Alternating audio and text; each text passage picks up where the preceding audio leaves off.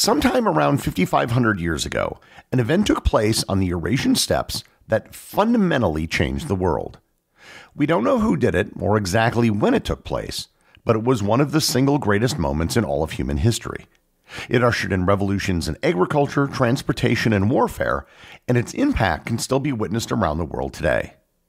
Learn more about the domestication of the horse and how it impacted the world on this episode of Everything Everywhere Daily.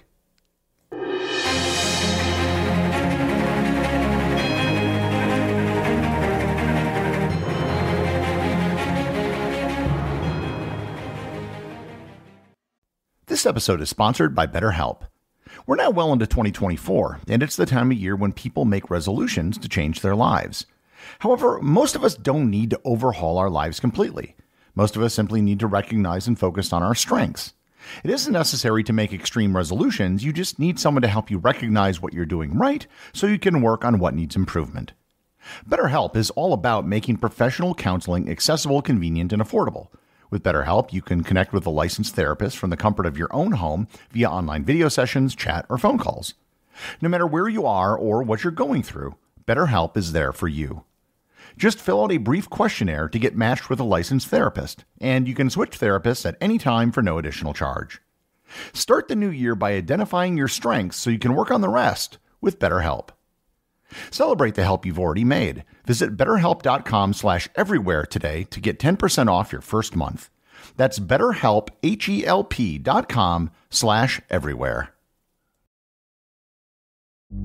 I've got kids, and that means it's always about them. But I need support too. That's where Ollie comes in. With their delightful, hardworking gummies, my partner and I can actually get a good night's sleep, so we'll both stand a chance of managing our stress responses. Even when the kids are doing parkour in the living room, discover Ollie vitamins and supplements. These statements have not been evaluated by the Food and Drug Administration. This product is not intended to diagnose, treat, cure, or prevent any disease.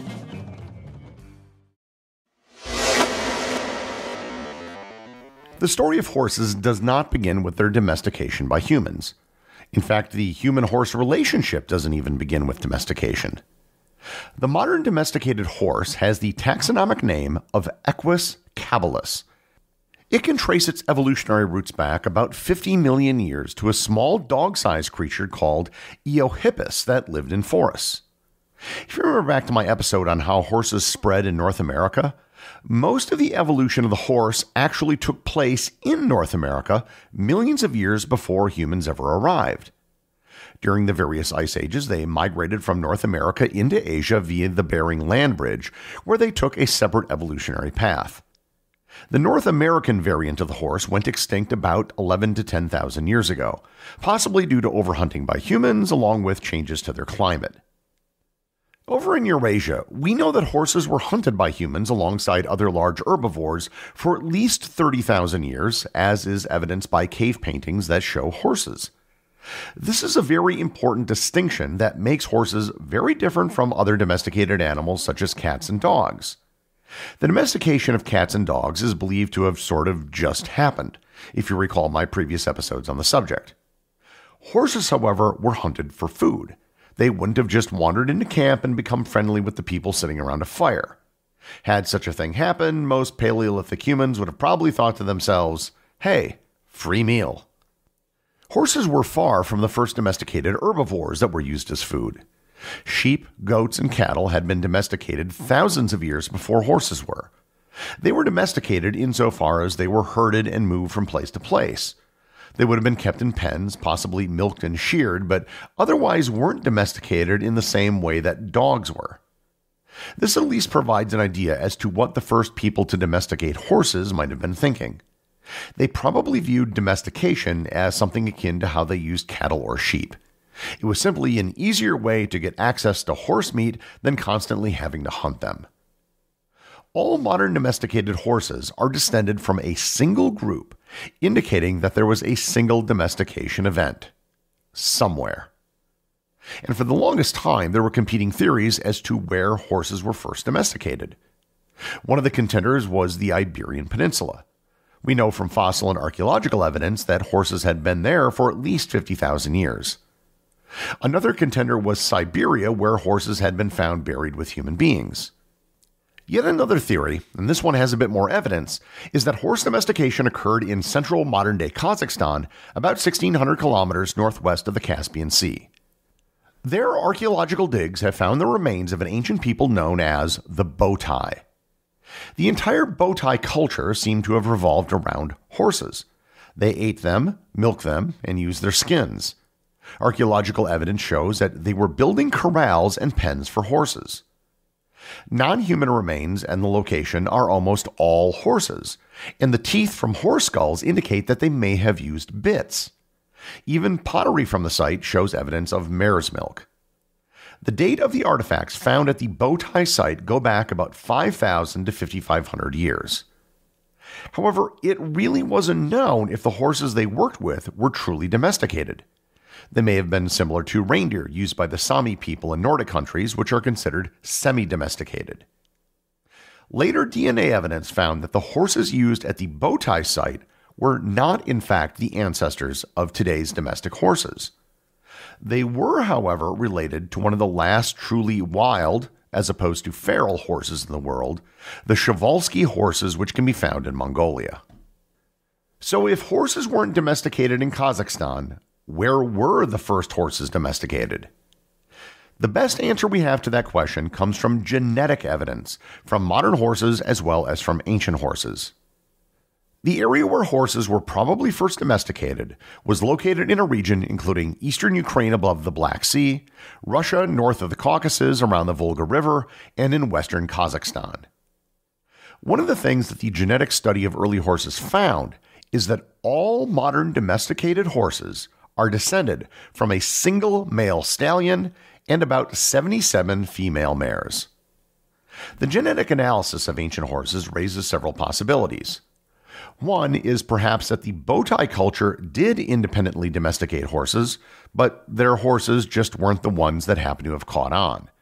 Perhaps there was something about them that made them more difficult to tame or made them less docile. The other possibility is that the Przewalski horses in Mongolia, long thought to be the last truly wild horses on Earth, are in fact not wild horses. Given their genetic relationship with the Botai horses, they might actually be the descendants of those formerly domesticated horses. One of the events that had to have happened early after domestication was the discovery that horses could be ridden and used to pull carts. In fact, this would have radically changed the perception and value of horses from something beyond mere cattle that could be used for food and milk. Horses allowed humans to travel further and faster than they could on foot. In fact, from the domestication of horses until the 19th century, the fastest anybody could travel on land was the speed of a horse. What isn't known, and may never be known, is if riding horses by sitting on them or driving horses by having them pull a cart or a chariot came first. You would think that riding would have come first just because there's very little to it. Just climb on the back of a horse, even if it means just putting a child up there. However, there isn't much in the way of archaeological evidence to support this.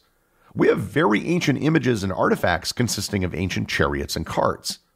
Things that would support riding, such as bridles and blankets, wouldn't survive well to be later found by archaeologists.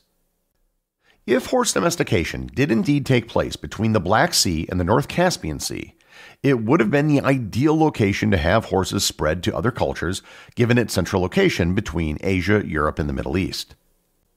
For about the first thousand years, horse technology, and it really was a technology, didn't spread very far.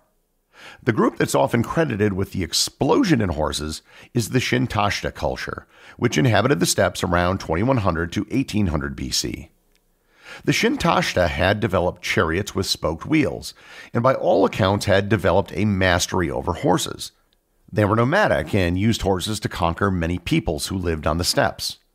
And in the process of doing so, they brought horses with them, possibly replacing any previous domestications using other species of horse like the Botai. Their efforts, either purposefully or inadvertently, brought horses to a wide number of people in and around the steppes during the Bronze Age. These people soon discovered that these animals were not to be prized for their meat like a goat or a cow, but rather for what they could do. Horses could pull wheeled carts with far more goods than can ever be carried by hand. They could pull a plow to help cultivate more crops. And they could allow you to travel swiftly as well as give a significant advantage in battle. As horses spread, they began to be selectively bred. The colors of coats of horses underwent a wide diversification, and the size of horses began to increase as horses were bred for strength and speed. To this extent, horses are very similar to dogs insofar as different breeds, which sometimes look dramatically different from each other, are all actually a single species. Horses became prized assets, often the greatest source of wealth in a community, and horses also found their way into the mythology of many cultures.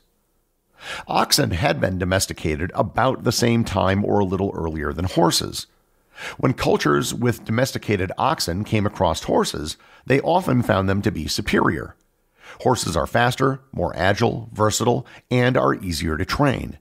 They could be used in the field as well as in combat and could travel much longer distances.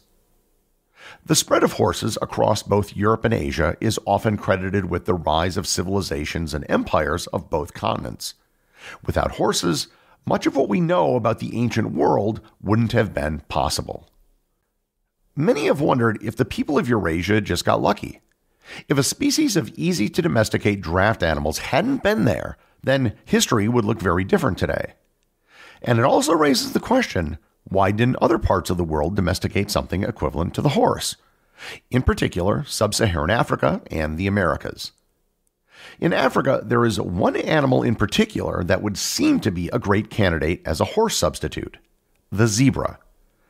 Zebras are members of the genus Equus, along with horses.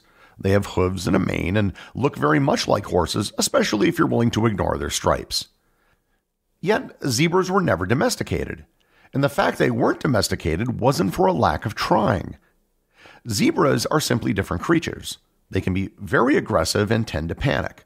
They aren't as strong as horses, are challenging to breed in captivity, and they don't have a hierarchical social structure like horses, which can be taken advantage of to tame horses. Likewise, in South America, llamas and alpacas were domesticated, but they had nowhere near the size and strength of a horse they couldn't carry the same burdens or travel as fast. And just to end, if you want to engage in a bit of alternate history, you can imagine what might have happened in North America if horses hadn't gone extinct 10 to 11,000 years ago. It really isn't too much of a stretch to imagine native peoples in North America domesticating horses thousands of years ago.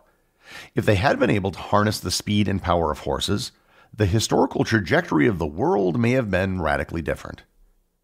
I've covered the origins of many different inventions and discoveries in previous episodes, and I've also covered the domestication of various animals, from cats and dogs to chickens. However, there is a very strong case to be made that the domestication of horses was the single most important step in human history. It would be right up there with the wheel and the discovery of fire.